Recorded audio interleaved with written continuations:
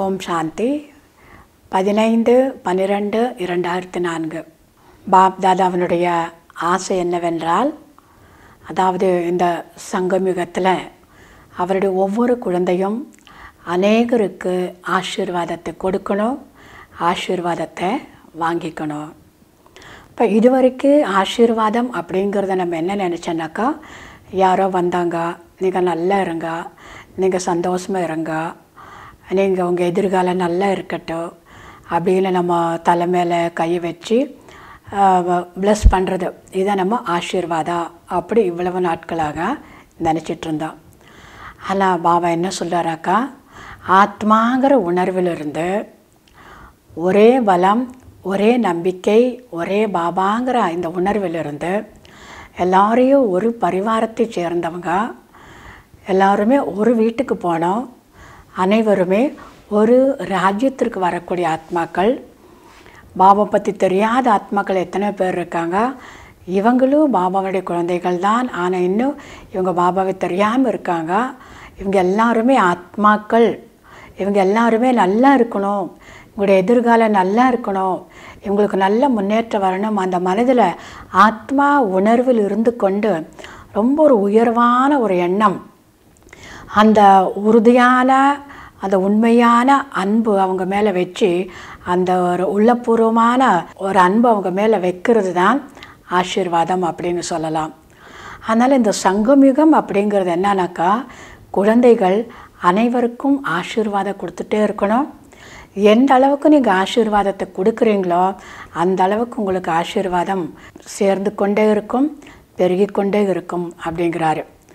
Pop தாதாவினுடைய ஒரு ஆசை என்னன்னாக்கா என்னுடைய ஒவ்வொரு குழந்தையும் கவலையற்ற மகாராஜாக்களாக இருக்கணும். இப்போ கவலையற்ற மகாராஜாக்களாக இருப்பதற்கான ஆதாரம் கர்மேந்திரிய ஜீத்.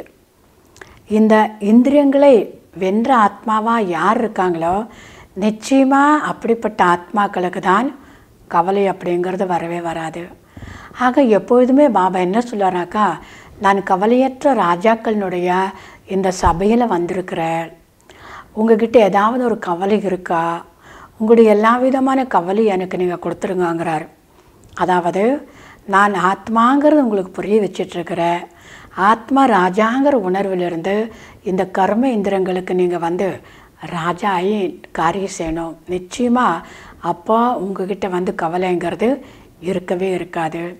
அதனால் சுயராஜ்ய அதிகாரிகள் தான் பாபாவனுடைய மன சிம்மாசனத்தில் அமரக்கூடியவங்க. அவங்க தான் எதிர்கால ராஜ்யா அந்த சிம்மாசனத்தில் அமரக்கூடிய ஆத்மாக்கள் ஆக முடியும் பாபா என்ன சொல்கிறாக்கா கவலையற்ற ராஜாக்கள் கவலையற்ற ராஜாக்கள் அப்படின்னாக்கா சுயராஜ்ய அதிகாரி அதாவது தூய்மையான வாழ்க்கை வாழக்கூடியவங்க. அந்த ஆத்மாக்கள்கிட்ட தூய்மையினுடைய ஒரு சக்தி இருக்கக்கூடிய காரணத்தினால மாயாவை வென்ற கர்ம இந்திரியங்களை வென்ற ஆத்மாவாக ஆக்கிடும் தூய்மையான ஆத்மா எந்த இடத்துல தூய்மை இருக்குமோ அவங்க மாயாவை கூடவே கர்ம இந்திரியங்களை வென்ற ஆத்மாக்கெல்லாம் ஆயிடுவாங்க. அப்போ தான் உங்களை வந்து கவலையற்ற மகாராஜான்னு சொல்லலாம். கவலையற்ற மகாராஜாக்களினுடைய அடையாளம் என்ன? அவங்க எப்படி இருப்பாங்கனாக்கா தானும் திருப்தியாக இருப்பாங்க. மற்றவங்களுக்கு கூட அவங்களால திருப்திங்கிறத கொடுக்க முடியும். உலகத்தில் பலவிதமான தெய்வீக குணங்களை பற்றி எல்லாருமே வர்ணனை செய்கிறாங்க எல்லா விதமான குணங்களினுடைய ஒரு தந்தை யாருன்னாக்கா திருப்திங்கிற குணம். இப்போ எப்போ வந்து சுயராஜ்ய அதிகாரி ஆத்மாக்கள் இருக்காங்களோ தூய்மையில் அந்த தூய்மை எனக்கூடிய தாரணையில் நம்பர் ஒன்னில் இருப்பாங்களோ நிச்சயமாக அந்த ஆத்மாக்கள்கிட்ட ஹண்ட்ரட் பர்சன்ட் நூற்றுக்கு நூறு திருப்திங்கிறது அங்கே இருக்க போகுது. அவங்களுக்கு என்ன அனுபவம் ஆகுதுன்னாக்கா பகவானுடைய குழந்தையான பின்னாடி இந்த பாபா தான் எனக்கு உலகம்.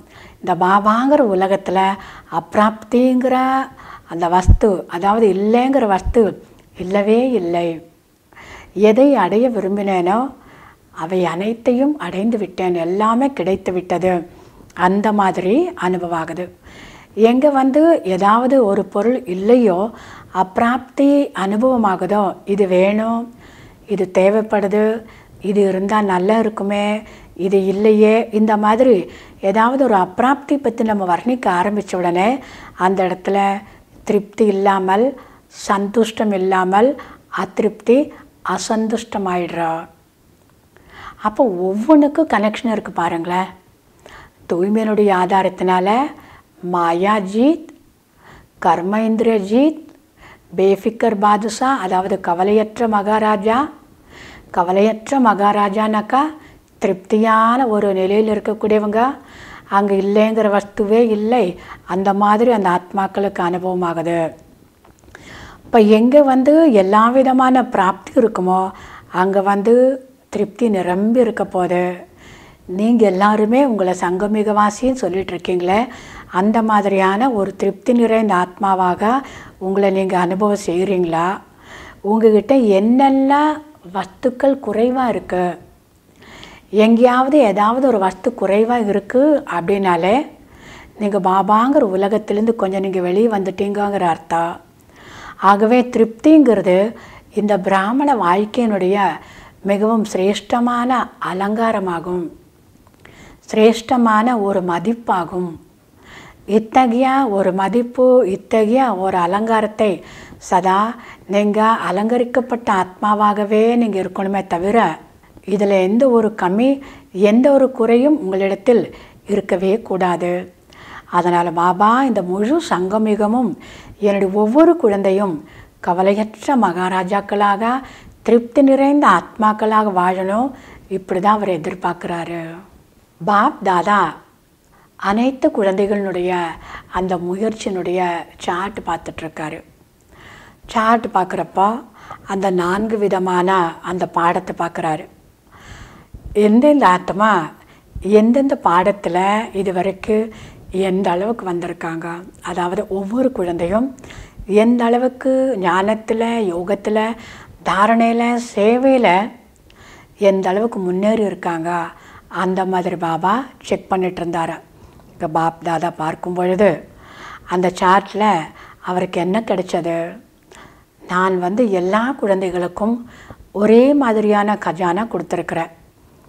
கூடவே ஒரே மாதிரி பாடத்தையும் நான் கொடுத்துருக்குறேன். எல்லா விதமான இந்த பொக்கிஷங்கள் கொடுத்துருக்குறேன். இந்த எல்லா விதமான பொக்கிஷங்களை குழந்தைகள் எந்த அளவுக்கு அதை சேமிச்சிருக்காங்க? நான் கொடுத்தது என்னவோ எல்லாருக்குமே ஒரே மாதிரி கொடுத்தேன். அதில் எத்தனை பேரை அதை வந்து சேமிப்பாக்கியிருக்காங்க அதையும் செக் பண்ணிட்டு இருந்தாராம். பொக்கிஷங்களை பாபா எல்லாருக்குமே ஒரே மாதிரி எந்த அளவு கொடுக்கணுமோ அந்த அளவு கொடுத்தாரு. ஒரு சிலருக்கு அதிகமாகவோ ஒரு சிலருக்கு குறைவாகவோ கொடுக்கல.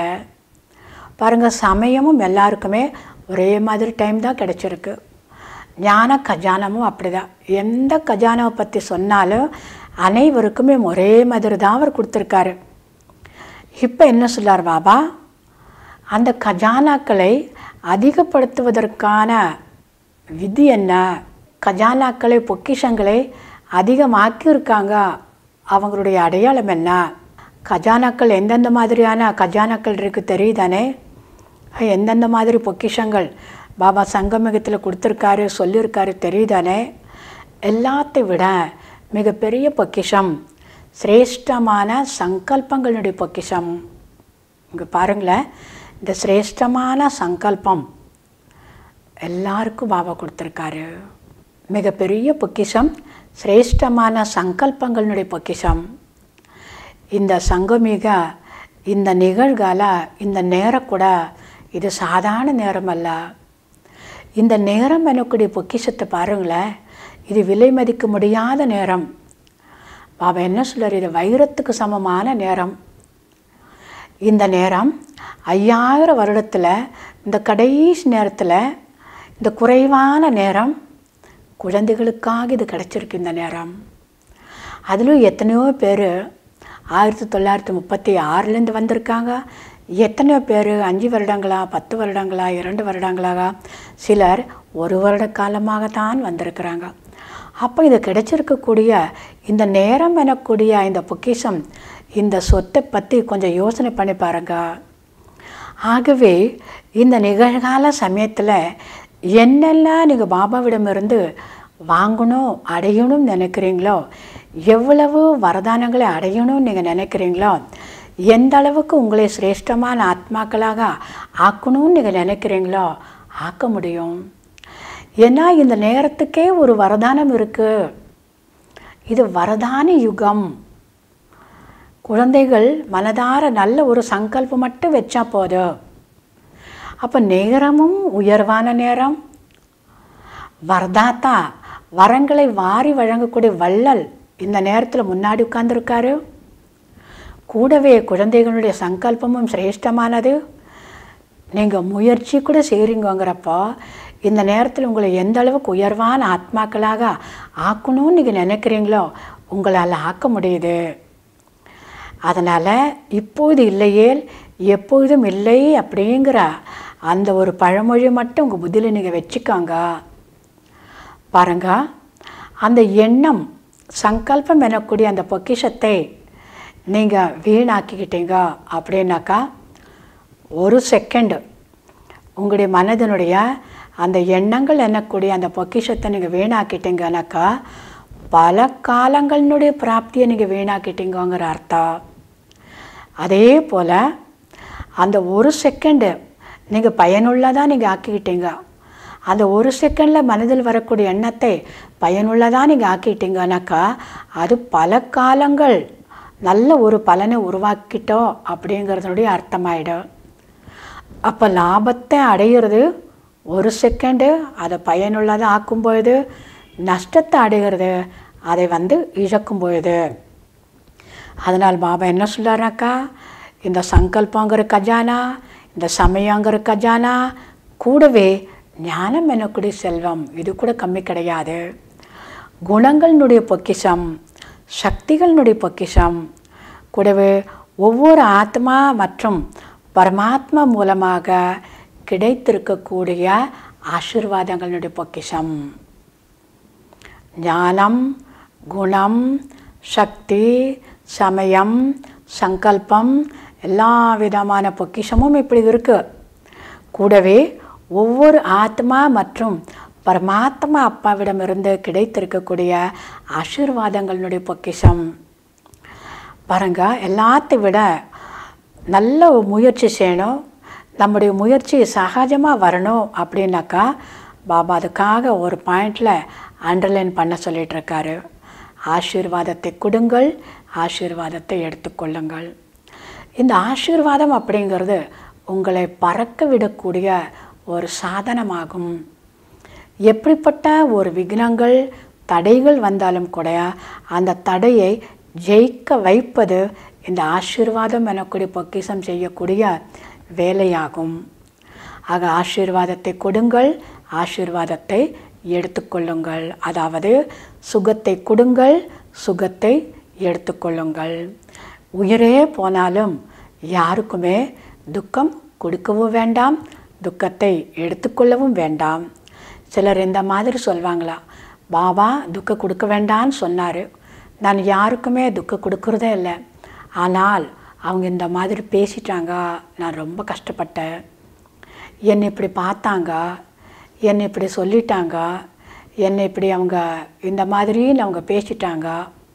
அதனால் என்னுடைய மனசு ரொம்ப கஷ்டமாக இருந்து சொல்லி துக்கத்தை எடுத்துக்கிறாங்களாம் அப்போ நான் சொன்ன விஷயத்தை துக்கம் கொடுக்கக்கூடாது துக்கம் எடுக்கக்கூடாதுன்னு சொன்னேன்.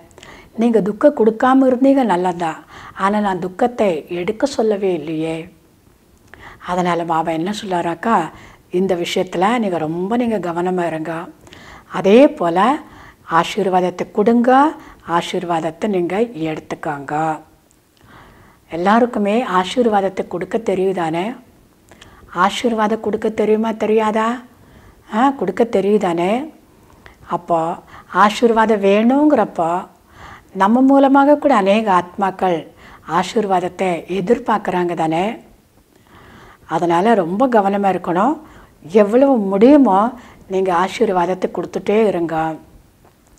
ஆசீர்வாதங்களினால் நிரம்பி ஆத்மாகுங்கள். ஆசீர்வாதம் உங்களை ரொம்ப லேசாக்க ஆக்கக்கூடியது. அப்போ எந்தெந்த வகையில் நமக்கு பிளஸ்ஸிங் கிடைக்கும்? எந்தெந்த வகையில் நமக்கு ஆசீர்வாதம் கிடைக்குங்கிறதுடைய லிஸ்ட்டை முதல்ல நம்ம எடுத்துக்கணும். பிராமண ஆத்மாக்களினுடைய ஒரு ஆசீர்வாதமும் நமக்கு வேணும். பாபாவனுடைய ஆசீர்வாதமும் வேணும். உலகிய ஆத்மாக்களினுடைய ஆசீர்வாதமும் நமக்கு வேணும். அதாவது என்ன அளவிலும் கூட நம்முடைய மனதார யாருக்குமே பாருங்கள் எவ்வளவு முடியுமோ அவங்களுக்கு சுகம் போய் சேரணும் சுகம் டச் ஆகணும் அவங்களுக்கு சுகத்தை தரக்கூடிய அளவுக்கு நம்முடைய எண்ணம் சொல் செயல் இருந்துகிட்டே இருக்கணும். தானாகவே நம்ம நினச்ச இந்த சுகம் அங்கே போய் டச் ஆக ஆகுது. அவங்கக்கிட்ட இருந்து நமக்கு ஆசீர்வாதங்கிறது கிடைக்க போகுது. பாபா கிட்ட இருந்து ஆசீர்வாதம் அவர் என்ன ஸ்ரீமத் கொடுக்குறாரோ அப்படியே நம்ம செயலில் கொண்டு வர ஆரம்பிக்கிறோம். ஆசீர்வாதம் தானாகவே வருது. சேவை செய்கிறோம் அதில் எந்த ஒரு எதிர்பார்ப்பு இல்லாமல் நம்ம சேவை செஞ்சோம் அந்த சேவையில் நிறைய நம்ம தியாகம் பண்ணோம் எந்த ஒரு பலனையும் நம்ம எதிர்பார்க்கல. ஆசீர்வாதம் கிடைச்சது. பிறர் சுகத்தை அடைஞ்சாங்க. பிறருடைய மனதிற்கு ரொம்ப ஒரு ஆறுதல் கிடைச்சது. ரொம்ப குஷி அடைஞ்சாங்க. அவர்களிடத்திலிருந்து ஆசீர்வாதம் நமக்கு கிடைக்க போகுது. அதனால் பாபா என்ன சொல்கிறாராக்கா ஆசீர்வாதத்தை கொடுத்து ஆசீர்வாதத்தை எடுத்துக்காங்க. ஆசீர்வாதங்கள்னால் நிரம்ப பெற்ற ஆத்மாகுங்கள் ஒருவேளை யாரோ ஒருத்தர் சம்மந்தம் இல்லாமல் உங்களுக்கு வந்து எங்கேயோ சாபம் கொடுத்துருவாங்க. சாபம் போட்டுடுவாங்க. அப்போ நீங்கள் என்ன பண்ணுறீங்க அவங்க கொடுக்கக்கூடிய சாபத்தை நீங்கள் எடுக்கிறீங்களா? நீங்கள் அந்த சாபத்தை எடுத்துட்டீங்கன்னாக்கா உங்களுடைய மனம் சுத்தம் இல்லை அப்படிங்கிற அர்த்தமாயிடும். ஆசீர்வாதங்கள்னால் நிரம்ப பெற்ற ஆத்மா ஆகுங்கள்.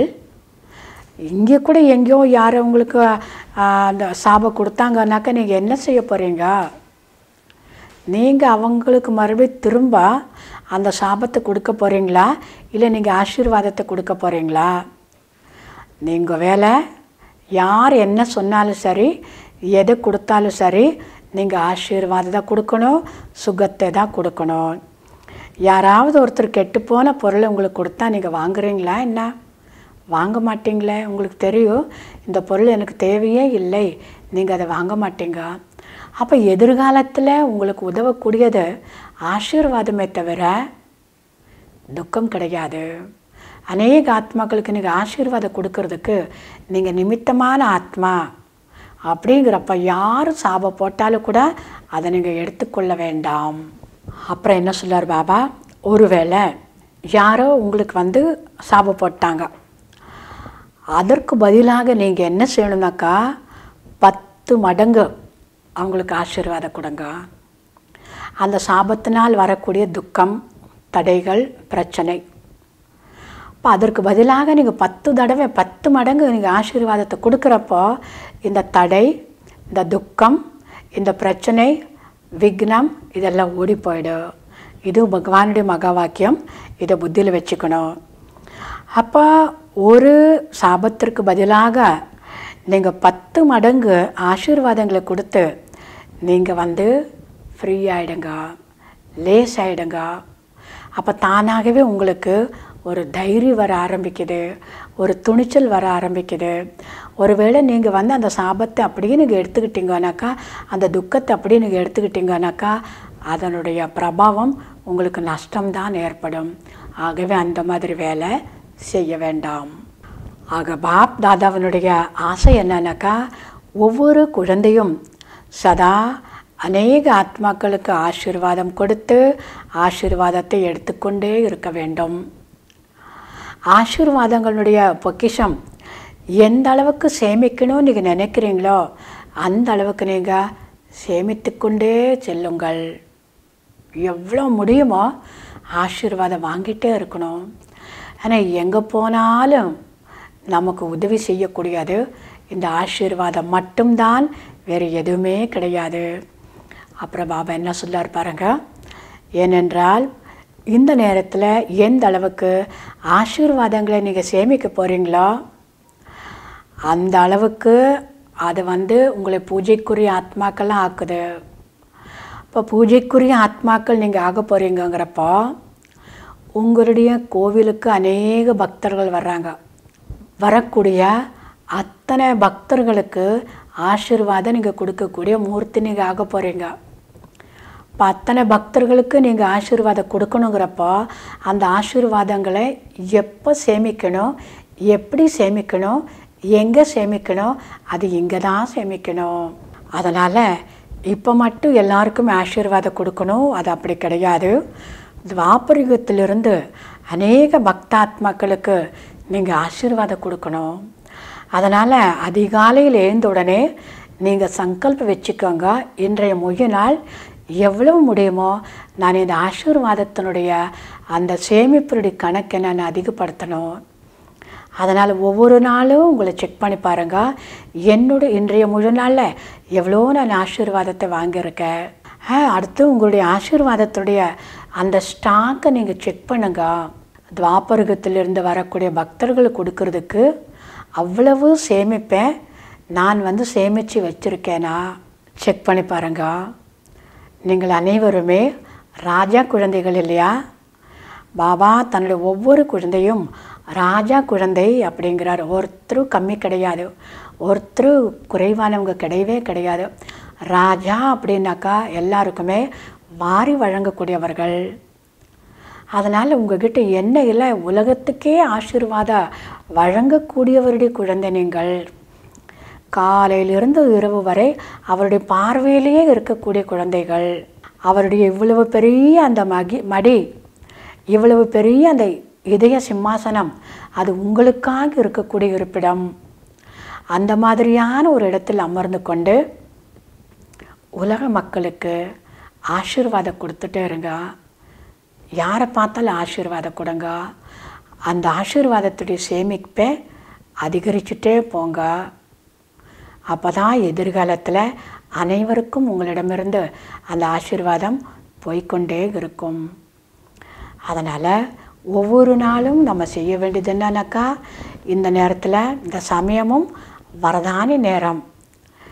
வரதாத்தா பாபாவும் கூட இருந்துகிட்ருக்காரு நமக்கு கூட ஒரு நல்ல முயற்சி பண்ணணுங்கிற ஒரு எண்ணம்.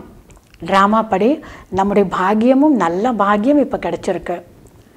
அப்போ எல்லா விதமான பிராப்தியும் இப்போ நம்ம கையில் வச்சுக்கிட்டு நம்ம செய்ய வேண்டிய வேலை என்னென்னாக்கா ஆசீர்வாதம் வாங்கிக்கணும். ஆசீர்வாதம் வாங்கக்கூடிய பாத்திரம் ஆகணும் எவ்வளவு முடியுமோ எதை விட்டாலும் பரவாயில்ல. எதெல்லாம் தியாகம் பண்ணாலும் பரவாயில்ல. நான் ஆசீர்வாதம் வாங்கணும். ஆசீர்வாதம் வாங்கணும். ஆசீர்வாதம் வாங்கணும் சொல்லி ஆசீர்வாதங்களை பிறருக்கு கொடுத்து ஆசீர்வாதங்களை எடுத்து பாப் தாதாவினுடைய ஆசிர்வாதத்திற்கு பாத்திரமாவோம். ஓம் சாந்தி.